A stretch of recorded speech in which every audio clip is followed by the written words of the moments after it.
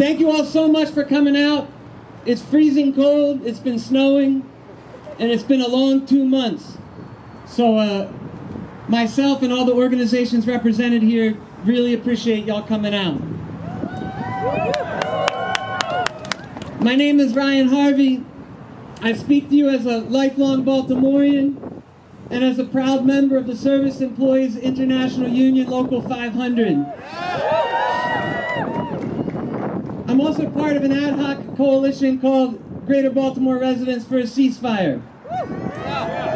A few weeks ago, we heard that some of our elected officials felt that they had not heard enough from their constituents regarding calls for a ceasefire in Israel Palestine.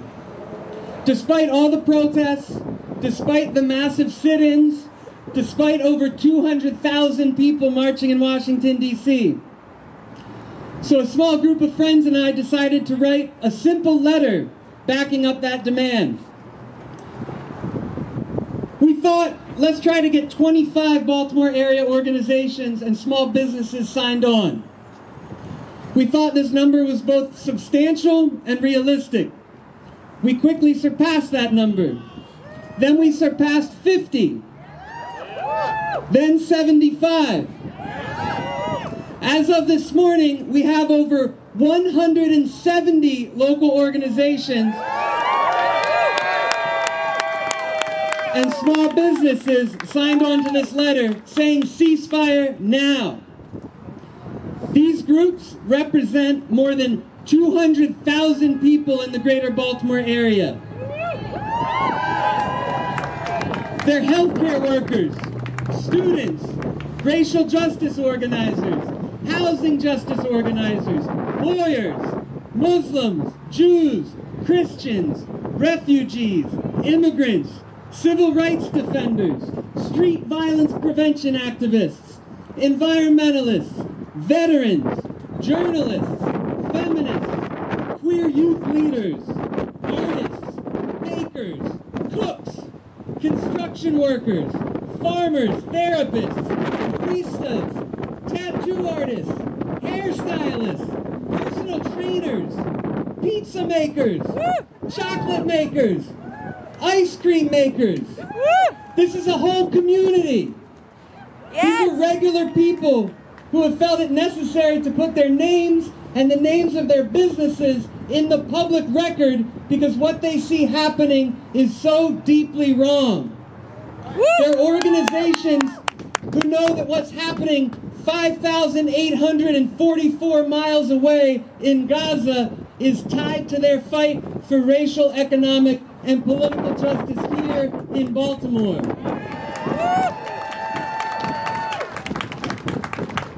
So we're gathered here today to send a very strong and very public message to our members of Congress.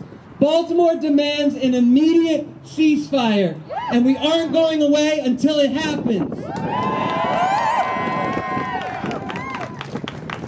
So I'd like to thank the 170 plus organizations and small businesses who've added their name to this letter, and in particular, those who are represented here today and who've endorsed today's event. I'm not going to read through all the names because uh, we're short on time, so you'll hear from many of them. So after we hear from some of these groups, a detachment of us is going to walk across the street and hand deliver a box of 170 letters to Senator Chris Van Hollen. We already this morning sent copies of the letter to Senator Ben Cardin and Representatives John Sarbanes and Dutch Ruppersberger. So I want to bring up our first speaker. I forgot to even put your last name in here, Matan, and I am sorry, so introduce yourself. But we're going to introduce Matan, who is with If Not Now, Baltimore, which is an organization of young Jews working to end the occupation of Palestine. Thank you, Ryan, and thank you. Can we get a big round of applause for everyone who made today's event happen? Yes. Thank you. As Ryan said, my name is Matan Zemmer.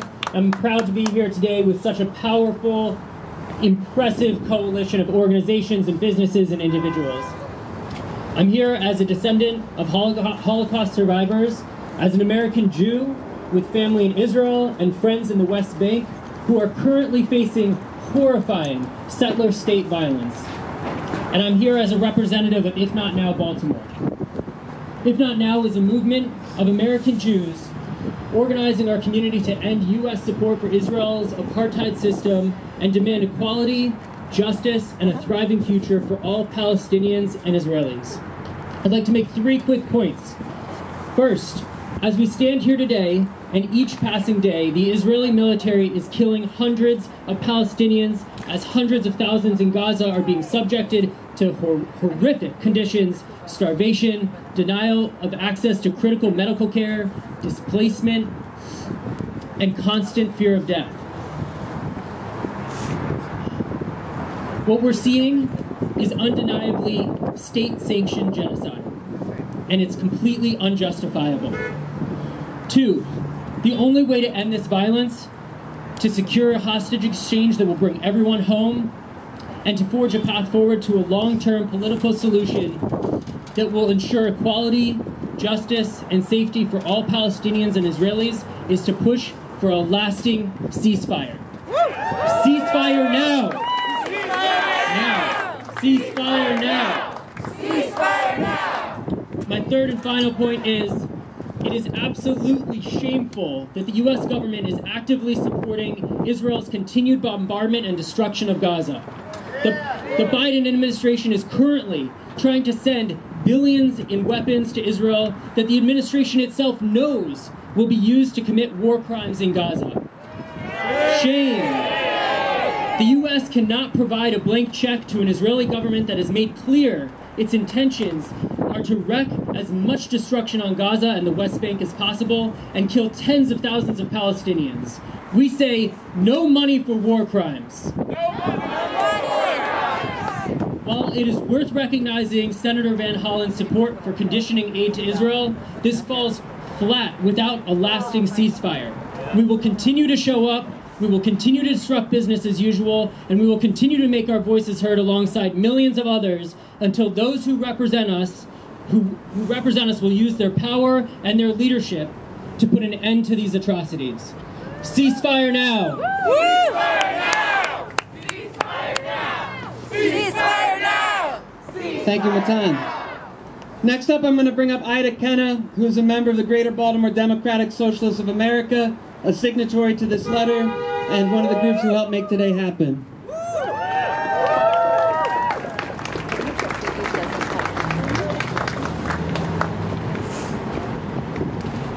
Give me one moment.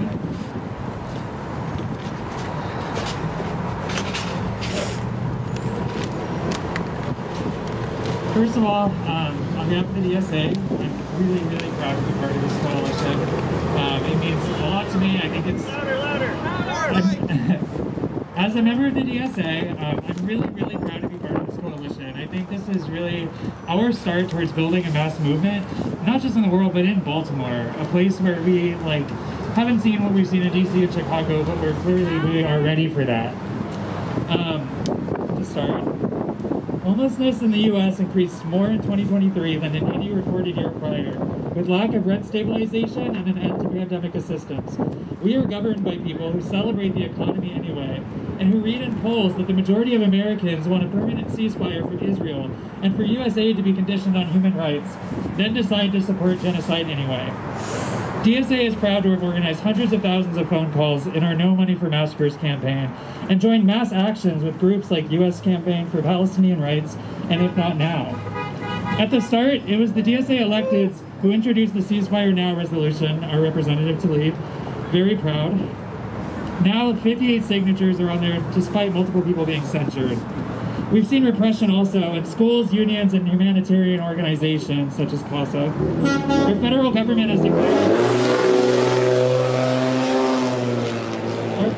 Has declared even our Jewish comrades to be anti Semites, while the biggest source of anti Semitism in this country, the Republican Party, convinces their only electoral opposition to abandon the welfare of asylum seekers and refugees. Which, shame.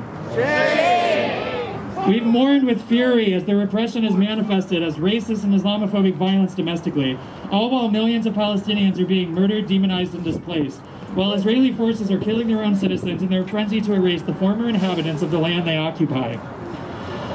While popularity of the political establishment drops, more unions, humanitarian organizations, and even governments around the world are demanding a permanent ceasefire. A mass movement is growing, even as many realize it isn't enough. That we have to abolish Israeli apartheid and dismantle US led imperialism.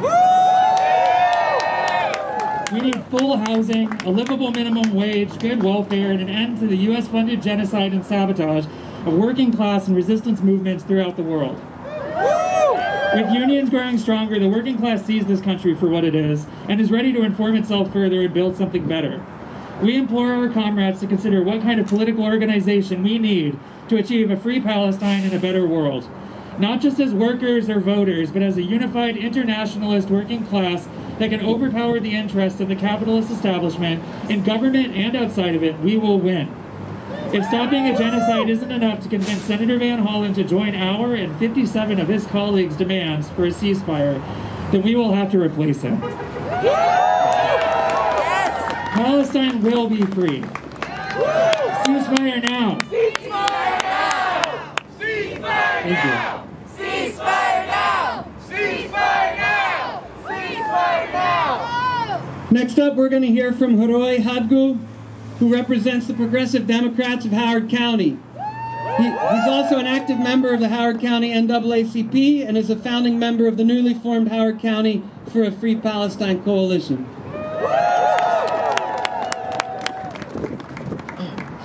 Uh, good afternoon, everybody. Uh, my name is Hori Hadgu. I'm part of uh, uh, Progressive Democrats of uh, Howard County. I'm part of uh, the Progressive Democrats of Howard County, and I'm also a member of the uh, Howard County for a Free Palestine. Let's reflect for a moment that we should not have, we should not be doing this today. We should not have to say ceasefire.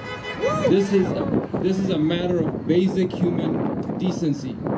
That's right. Um, we are emphatically calling on Senator Van Hollen to support an immediate and permanent ceasefire in the ongoing conflict between uh, uh, Israel and Palestine. Since October 7, the Israeli military's aggression have resulted in over 20,000 Palestinians dead, with nearly half being children. These aren't just numbers. They represent the relatives and loved ones um, of many, including in uh, residents of Maryland. The grief and loss experienced by families of the conflict are immeasurable and deeply felt in our communities. The situation in Gaza is dire.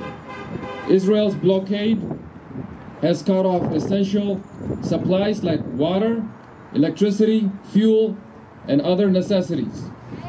The residents of Gaza are on the brink of starvation. Indeed, many are already in a state of starvation. Over 2 million people have been displaced from their homes, creating a humanitarian crisis of epic proportions. Despite warnings from UN experts about the risk, about the grave risk of genocide in Gaza, the response from the Biden administration has been disheartening. Shame. With no clear stance taken against these actions. Meanwhile, a significant majority of Americans are voicing their support for a ceasefire. Our concerns extend to the use of our taxpayer dollars. Billions have been allocated to support Israel's military actions in Gaza. While here at home, we struggle to secure significant public, sufficient public resources to address the basic needs of our own communities. Shame. It is a matter of grave concern that our contributions are not being used in a way that perpetuates violence and suffering. On Monday, U.S. Defense Secretary Lloyd Austin announced Operation Prosperity Guardian to protect commercial shipping routed to Israel. Commercial shipping.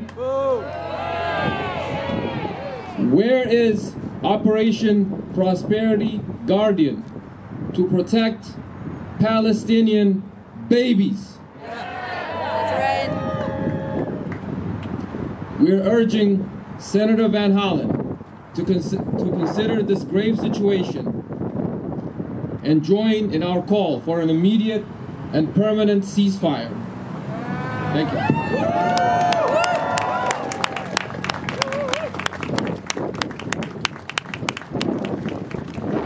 Next, I want to bring up one of our elected school board commissioners, Ashley Esposito.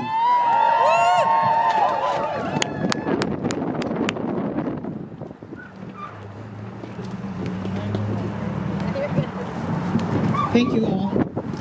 I was really struggling on what to say today. I want to start off by thanking every woman of color, especially black and indigenous women, who put their necks out to sign on, show up, speak out, knowing that they carry the most risk. I hope this space understands that risk, the risk of speaking truth while having the most to lose. In this space, you all should be thankful for the sacrifices that women of color make. You should remember this when you prop up leaders who carry less risk, are mediocre at best, but have been given more grace than women of color. Institutions, organizations, voters, groups that have political power should remember this when you are donating, volunteering, through your endorsement process, and at the ballot box, where people stand. For people who are adverse to conflict, and if this resonates with you, sometimes accountability feels like an attack. When people are showing you their pain, their trauma, or crying for help, the least you can do is bear witness. No one should have the right to comfort, not even me. I've been paying attention to Israel and Palestine well before 2023. I'll never forget the images of moms holding their lifeless babies who are the same age as my son. What continues to keep me up at night is knowing the widespread trauma will impact everyone, everyone that does survive, and future generations. When I ran for the seat, I ran on the principle that we cannot rely on individualism. Individualism in education and family shows up as people saying, I'll focus on my kid and my community, and you focus on yours.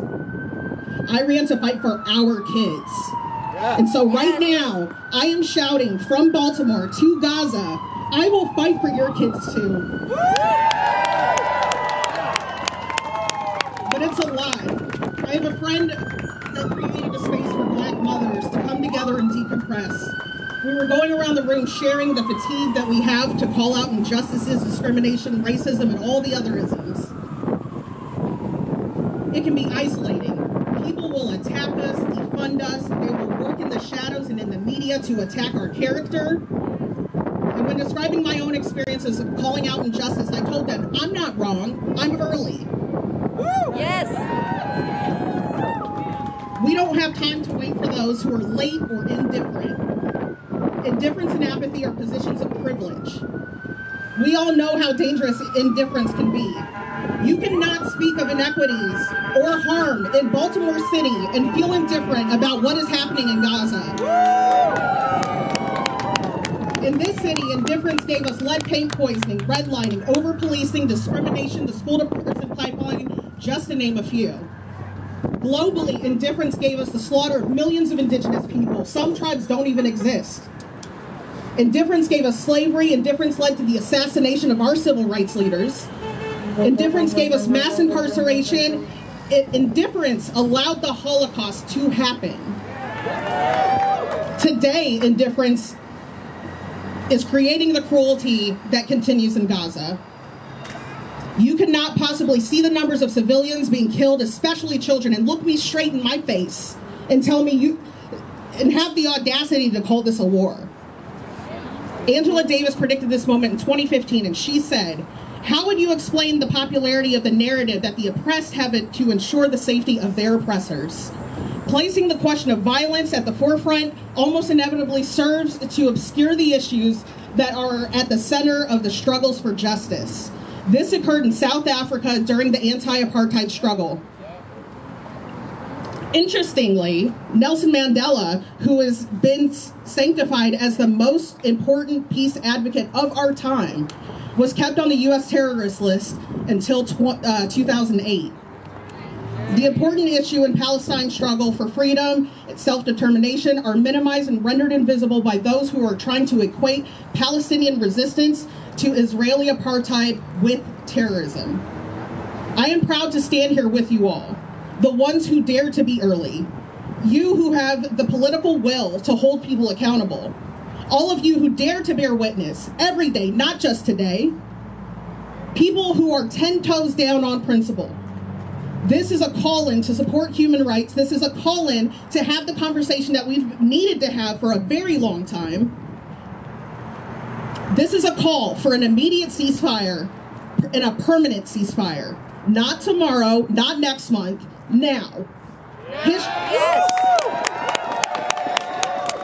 History will show that all of us are on the right side of humanity, freedom, and peace. We are not wrong. We are just early.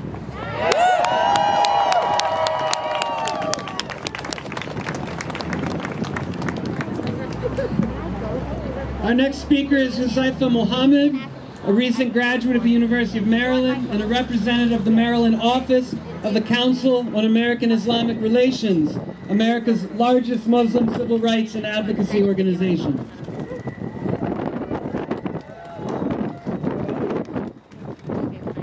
Good afternoon, everyone. It's great to be here with you today. I know it's cold outside, but it's still great to be here.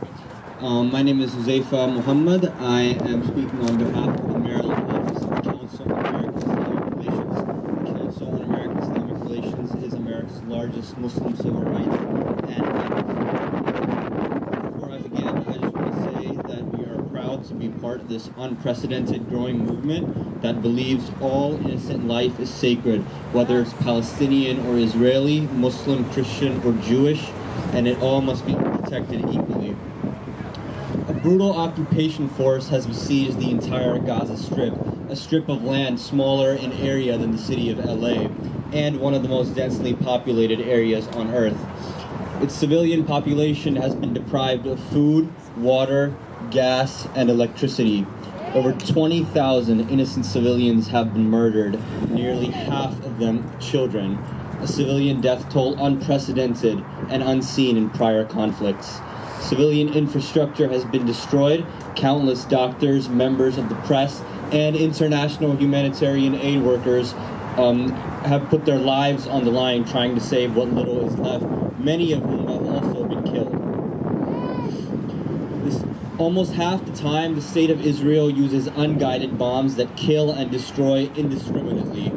White phosphorus is also being used as well, which is illegal under international law, sticks to skin, and can spread fire over hundreds of square yards.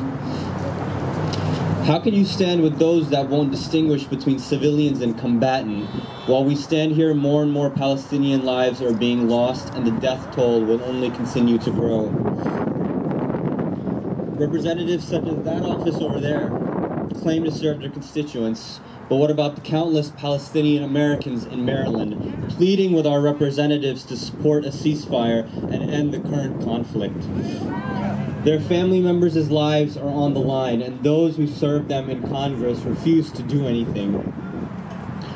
That's why we stand here today with over 150 grassroots organizations and 155 nations to let our representatives know that their constituents and citizens of all faiths and backgrounds call for a permanent ceasefire in this conflict.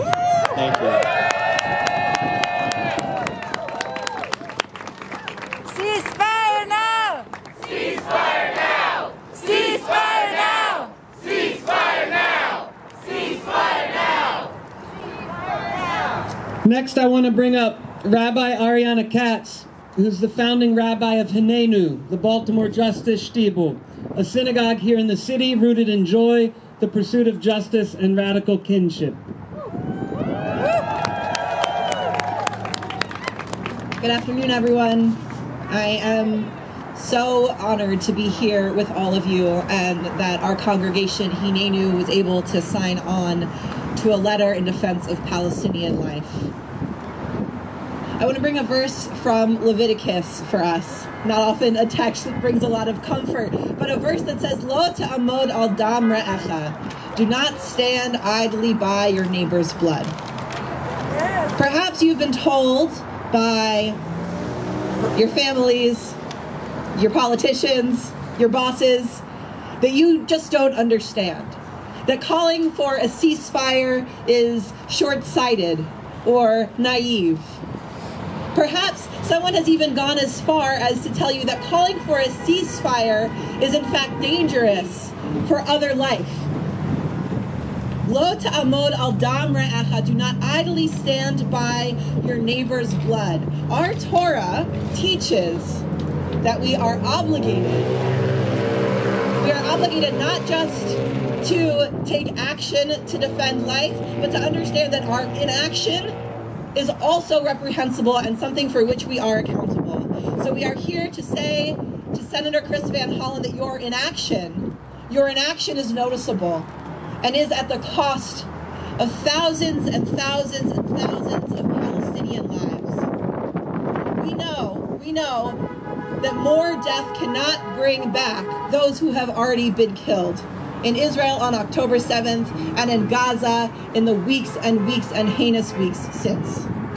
And so we are here, I am here on behalf of my congregation of over 200 families and the progressive radical Jewish voice that is rising here in Baltimore to say, to say, Lo ta'amod al dam ra'echa, do not idly stand by your neighbor's blood any longer. To the people of Gaza, to the people of Palestine, we will not stop rising for you. We are with you, our hearts are breaking for you, and we are acting in your memory. May the memories of those who have been so brutally murdered in the last two months be for a blessing. May we rise in their honor.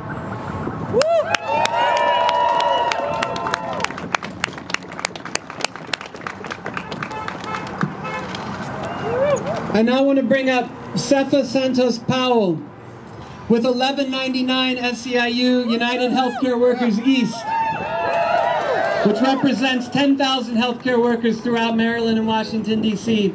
And the larger SEIU 1199 East represents 400,000 workers in the East, and they have come out in support of a ceasefire only this week. Cefa.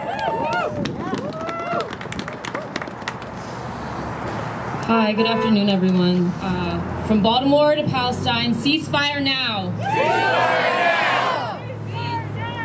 My name is Cefa Santos Powell, and I'm proud to be here representing 1199 SEIU, Maryland, D.C., a, la- a labor union representing 10,000 healthcare workers in Maryland and D.C. to demand a ceasefire. There is absolutely no justified reason to bomb hospitals, homes, and communities that have innocent families and children. Apartheid and are a public health crisis, violate human rights, and cause great harm to people's access to health care and general well-being. 1199 SEIU was the first union in the U.S. to oppose war in Vietnam, and we are proud that during the anti-apartheid struggle in South Africa, 1199 stood with Nelson Mandela and the African National Congress. As advocates of global justice and global health, 1199 SEIU is speaking out against the occupation and calling for a change. This is our reality, but it does not have to be. Building a just world requires solidarity among working people internationally. Palestinian workers, including healthcare workers, have issued many calls to the rest of the world to speak out against the occupation of Palestine. As a healthcare workers union, we understand the power of standing united with workers across the world, especially those facing systemic, systemic racism and violence under global capitalism. Lastly, we must call on our representatives to end inhumane and cruel treatment that has been justified as necessary collateral damage. This moment in Baltimore is a moment in history, and it is my honor to join over 170 organizations in the city to call on our representatives in our city to stand on the right side of history. The people united will never be defeated.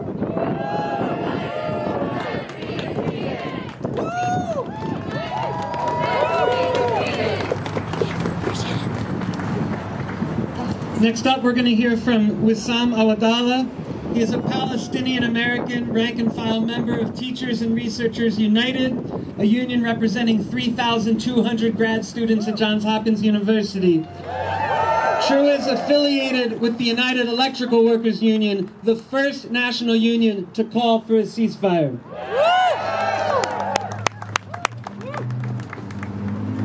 Hi, good afternoon, everybody. I'm Wissam Awadallah, uh, Lagos State. Uh, Justice for all. Her organization holds consultative status at the United Nations and advocates for the global strengthening of human rights.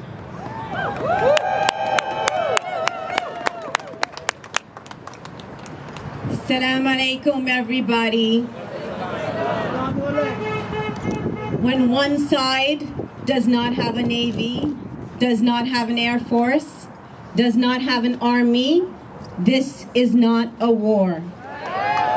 This is genocide. I come to speak to you on behalf of Justice for All. We are an organization that works on genocide prevention, that works on minority rights. And today, as we stand outside Senator Van Hollen's office, I've been inside his office many times.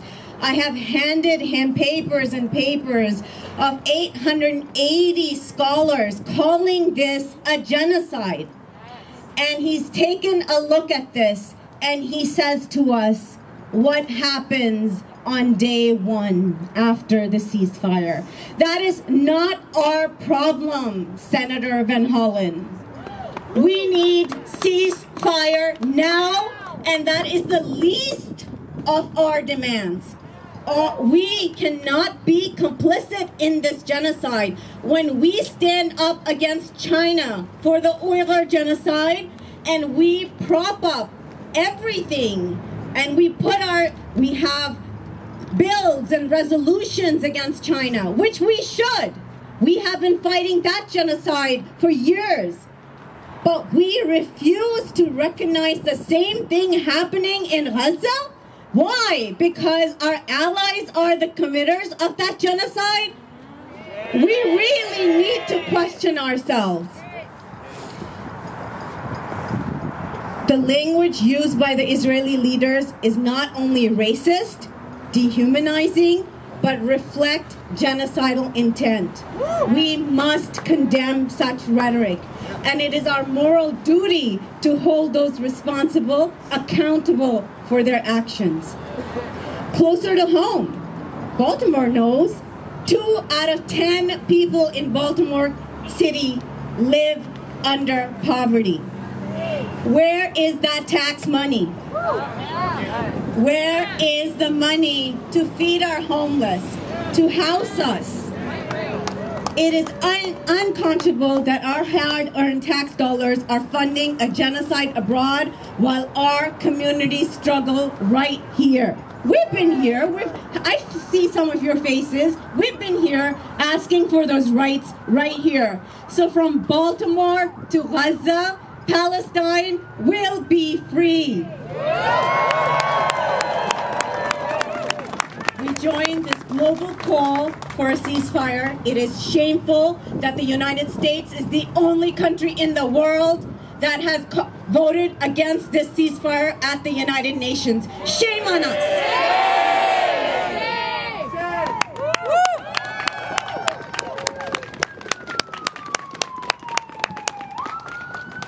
Next, we're going to hear from Zahi Khamis and Kim Jensen, who are very long time fighters in Baltimore for a free Palestine.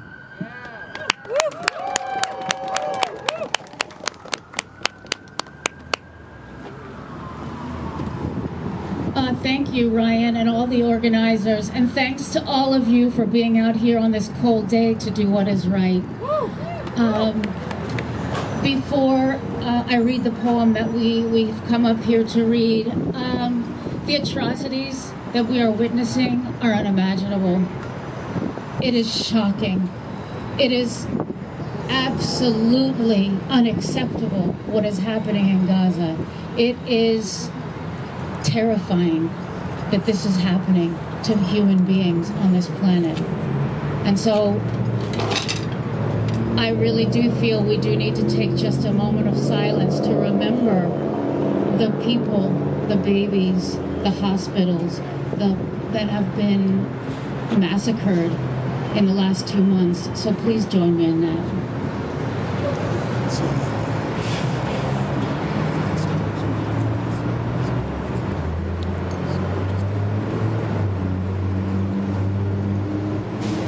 honestly, the the whole world should be shutting down right now.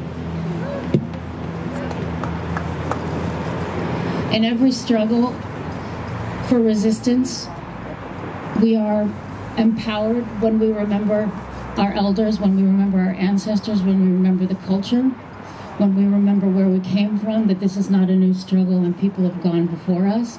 One of the greats um, who gave his life to uh, speaking for the voice of the Palestinian people is Mahmoud Darwish. Uh, Zahi and I will be sharing a poem that we translated.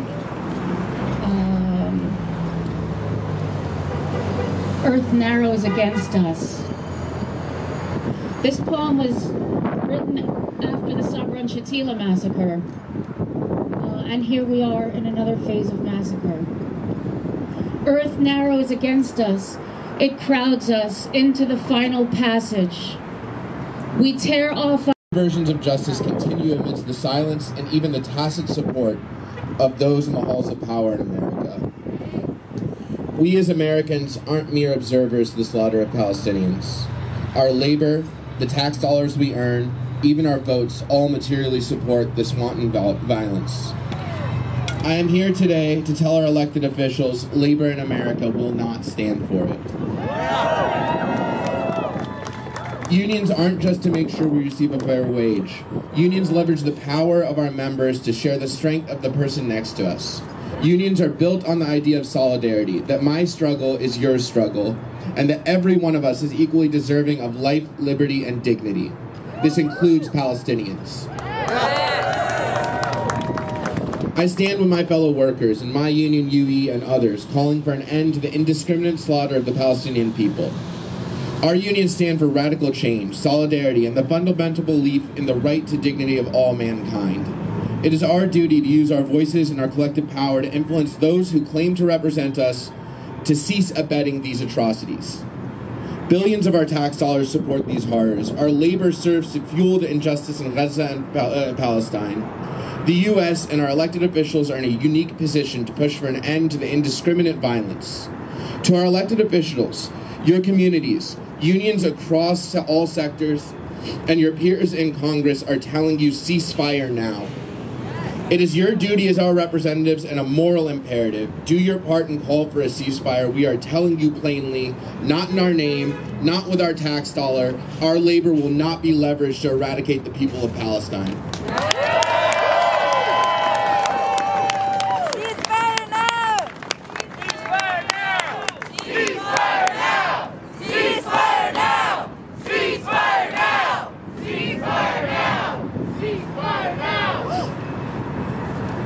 Before I introduce, if uh, uh, Henna, if you're here, come see me over here by the sound system, please. Uh, next up, we're going to hear from Father Ty Hullinger. He's a longtime social justice voice in Baltimore, and he's here today representing the Transfiguration Catholic community, a signatory of the letter.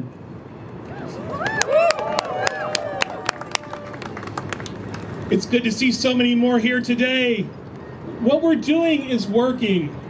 It is working and it's powerful you know, just a few days or a couple of weeks ago, we met across from Representative Mfume's office to urge him to sign on to ceasefire now, and he did. And I believe it's Senator Van Hollen's time now to do the same, to push our government who can bring a ceasefire to Gaza by calling Israel to stop the genocide, to stop the killing, and to stop the destruction of Palestinians in Gaza. Folks, I'm a, I'm a Catholic priest at Transfiguration. In five short days, Christians around the world will celebrate what began in the West Bank in a little city called Bethlehem, the birth of Jesus.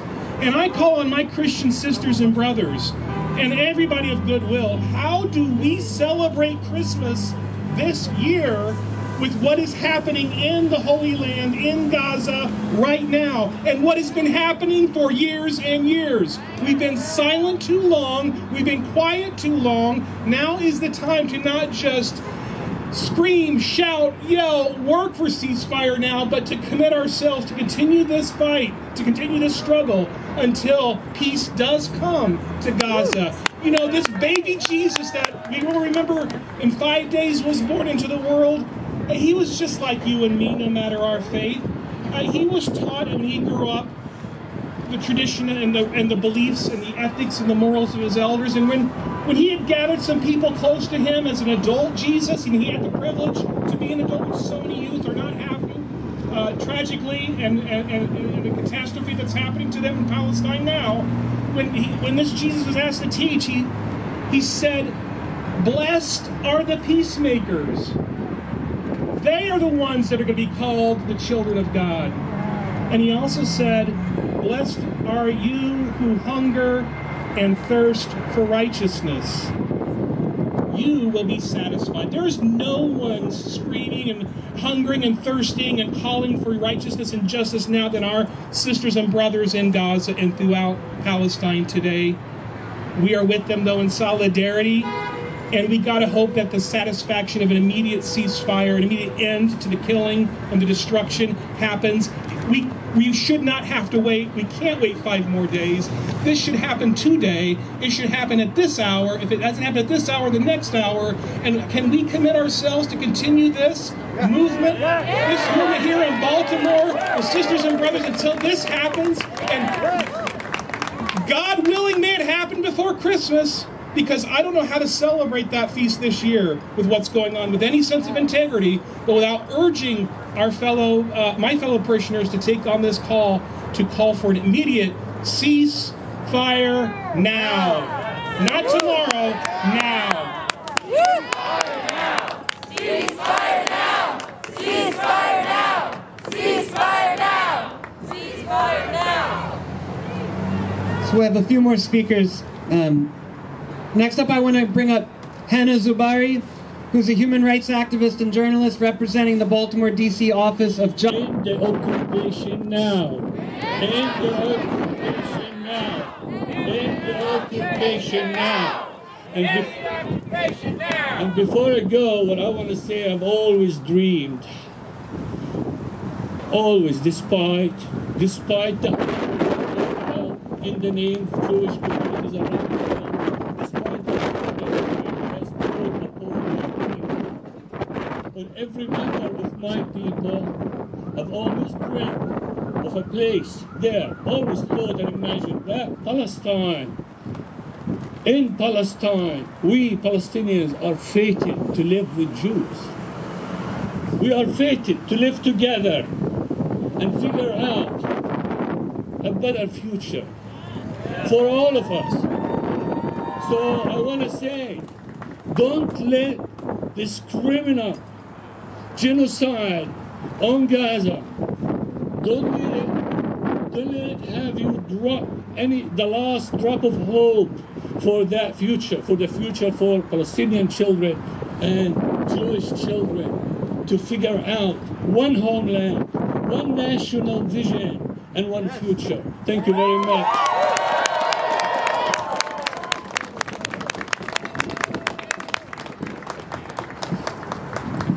We're going to hear from one more duo of speakers, and then we're going to go deliver this letter to Senator Van Hollen's office. Thank you all for standing out here in the cold with us. Uh, to reiterate something I said earlier, this is historic in Baltimore. Our limbs so we can pass. Earth presses us, it wrings us. If only we were its wheat, we could die and live again. If only the earth were our mother, she would have mercy on us. If only we were the reflections of the rocks carried by our dream as mirrors. We have seen the faces of those killed in their final defense of the soul, killed by the last of us. We wept at their children's feasts. We saw the faces of the ones who will cast our children from the windows of this final expanse. Mirrors that will be burnished by our star. Where do we go after the final crossing? Where do birds fly? Yes, Where do birds fly after the last sky? Where do plants sleep after the last breath of air? We will inscribe our names with crimson colored mist. We will cut off the hand of the anthem so it will be completed by our flesh. Here we shall die. Here in the final passage, here or here, our blood will plant its olive groves. And now I would like to introduce Zahi Khamis. He's a Palestinian professor, he's a Palestinian artist, um, and he'll say a few words.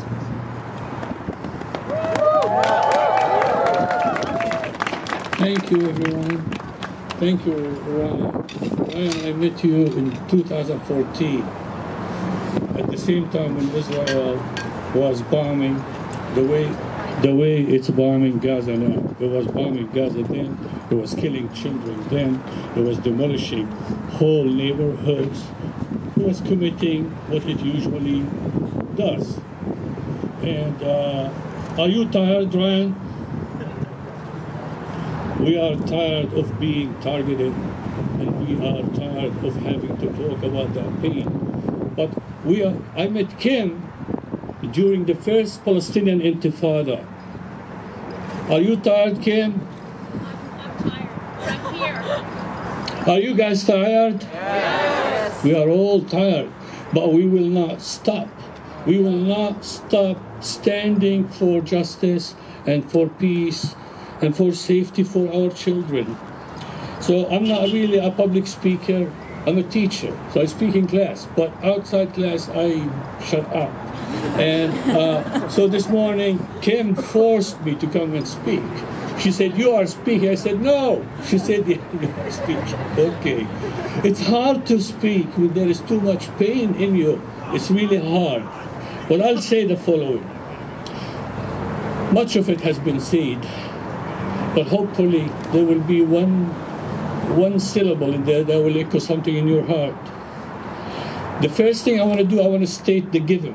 And the given is the following the United States and Israel and all of their racist imperialist powers combined cannot and will not make my people kneel down and surrender. It will not happen.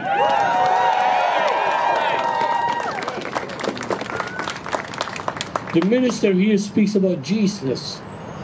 Jesus is our homeboy.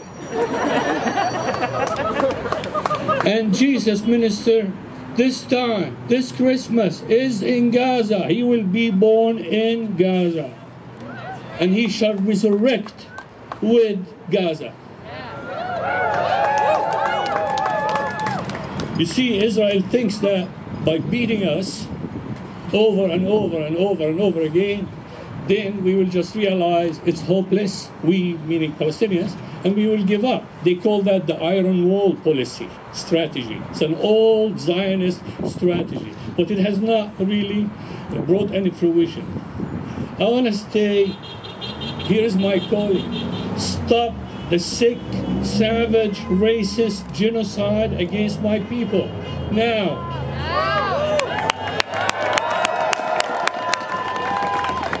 Stop the Nazi style genocide. American style and sponsored genocide. Stop it now. Let my people breathe. Let my people live. Leave us alone. We are sick of you. Cease fire immediately. And stop murdering our children, you fucking sickos.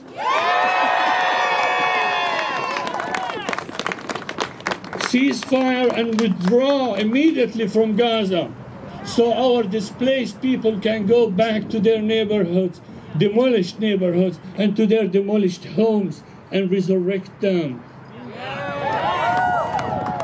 Cease fire and withdraw withdraw and allow for the honorable people of the world to supply Gaza with immediate urgent needs. That's you guys.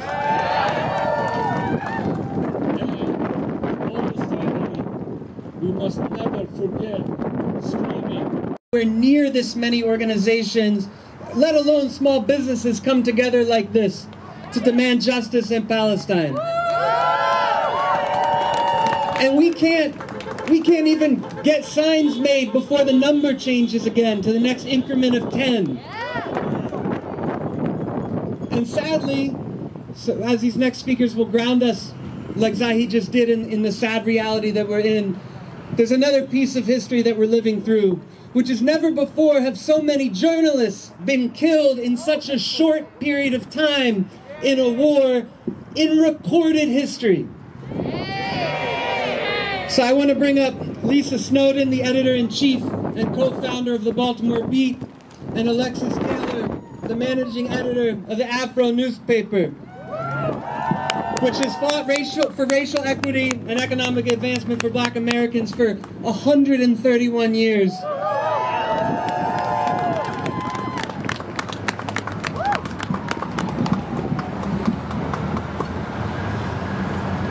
Good afternoon, everybody. I'm Lisa. Um, I wanted to say that it's an honor to be able to some of my colleagues in Palestine. I also feel like as I'm in front of this microphone, I would be remiss if I did not point out silence from my colleagues here in Baltimore, from the newsrooms here in Baltimore about the death of our colleagues has been deafening and it has been noted. As of December 18th, at least 73 journalists, mostly Palestinian, have been killed since the beginning, since the beginning, since October 7th. No. Mohammed Jargon, Ahmed Abu Mahdi, Ibrahim Mohammed Lafi, Salma Mukhaimer, Mohammed Al Sahi, Jamal Al Fagawi, Assad Shamlak, Zahir Al Afghani, Saeed Al Tawil, Dua Sharaf, Mohammed Sob, Yasser Abu Namos, Hisham Al Mwahi, Nazni Al Nadim, Salam Mima, Mahed Kashko, Mohammed Fayez Abu Mator Mal Ab Wahidi, Ahmed Shahab, Maj Fadi Arandas, Hussam Mubarak, Mohammed Abu Hatab, Youssef Maher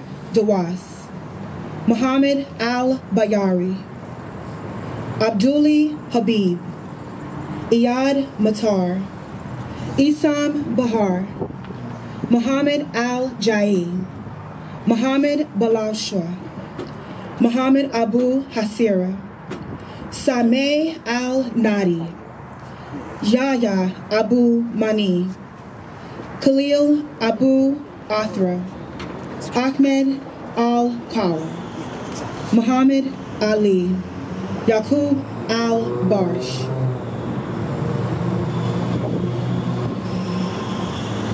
Hani Madham, Ahmed Fatima, Roshidi Sarai, Mahmoud Matar, Mohammed Ahmad Labad, Mossab Ashur, Saeed Al Halabi, Mustafa El Saf, Amro Salah Abu Hava, Sari Mansour, Hastune Salim, Bilal Jalada, Abdel Halim Awad, Avat Kadora, Jamal Hania, Mohammed Nabil Al Zag, Yaniv Zohar, Asim Al Barsh, Ayelet Arnin, Mohammed Maun Ayash Shai Regev, Amal Zahed, Raul Adam, Mustafa Baker, Nadir Al Nazli, Abdullah Darwish, Montasar Al Sawaf, Adam Hassona, Hassan Farahala, Ola Atala, Mohammed Abu Samra, Abdul Karim Odeh, Shaimer Al Ghazar, Shaima, I'm sorry, Sam, Samir Abdugala,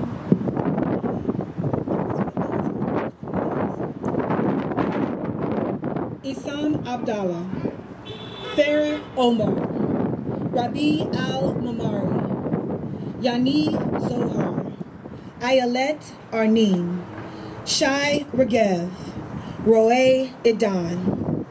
As members of Black Press, we know what it means to fight for your brothers and sisters on a common struggle.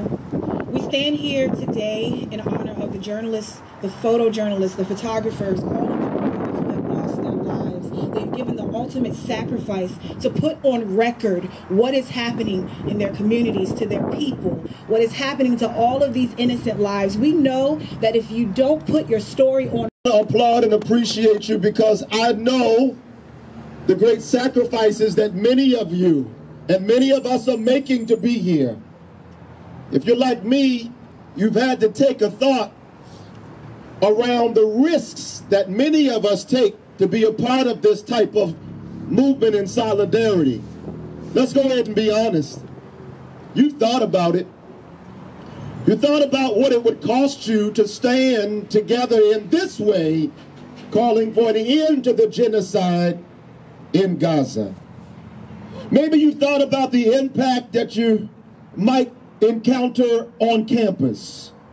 As many students across the country right now are facing pressures from administration because they dare raise their voices for peace. Or maybe you've thought about the impact for you with, with respect to your job. You know, there's polite water cooler conversation that is permissible in many places of employment, but genocide and the American military industrial complex doesn't make for good conversation with coworkers. You've thought about the impact of that for sure. Or maybe in your family, it's not very popular to bring up political issues, but you've dared to say, I'm going to raise the issue anyway.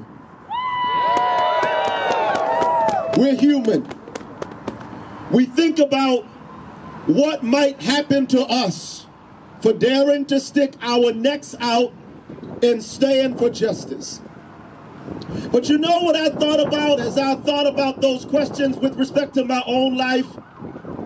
As I kept thinking about it, I moved from the question of what will happen to me, and I turned to the question of what will happen to them if we don't. The truth of the matter is, a few weeks from now, many people will stand and declare the name of Reverend Dr. Martin Luther King Jr. And for many programs that are lifted up in his honor, they'll lift up the caricature of Dr. King, the politically approved version of Dr. King. But they dare not raise the Dr. King, the real human being who dared to raise his voice against the war in Vietnam, where many, even in the black freedom struggle, were telling him to shut up. We need to remember that in the waning years of his life, he was not a popular man or minister. Society had turned on him, the man who was once on the cover of Time magazine, the Nobel Peace Prize winner, that very same king, dared to bear his cross. And in the waning years, he was not very popular. And even up to his assassination, he was not a celebrated minister, even in many black Christian circles. But we get the benefit of standing on this side of history. And we can look back from this side of history and realize that though Dr. King was not popular, he was right. And so I stand with you today to encourage you. We are not out here for some popularity contest. We are not here to gain more followers online or likes on social media pages. There's something deeper and greater that calls us to this moment. There's something more eternal that makes us stand in the cold together and dare to declare that we will not allow this to happen in our name. I'll say this and I'll shut down as our comrades are joining us. I'll say this. When I think about why I was late today, I was late because my children got out early from school. And I had to go and get my children from school. And my plan was to bring them here with me. But there's something strange going on with teenagers where they don't wear coats during winter anymore. And so I wanted to be, thank you. I wanted to be a, I wanted to be a thoughtful dad and take them to a heated home before I came out here to stand with you. But even, even in that, I had the privilege of going to get my children.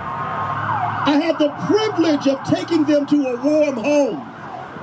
I had the privilege of ensuring their safety before I came to you. And that's a privilege, sadly, that many of our Palestinian siblings do not have today.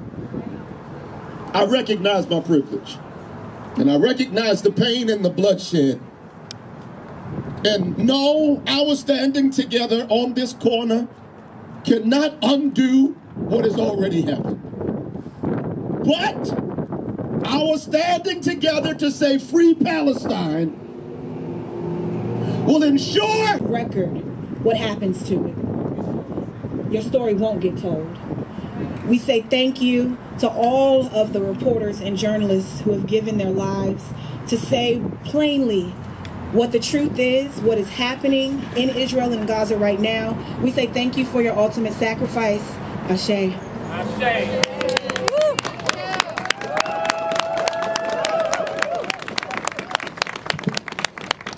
Okay, just a few more minutes, folks. If I could get the speakers and just one representative from all the organizations present who signed on to the letter, we're going to walk across the street and we're going to deliver 170 letters to Senator Van Hollen from all these different groups. Go, oh, go to Valentina, sorry.